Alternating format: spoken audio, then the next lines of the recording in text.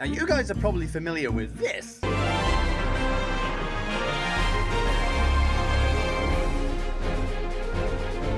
But did you know that it came from that?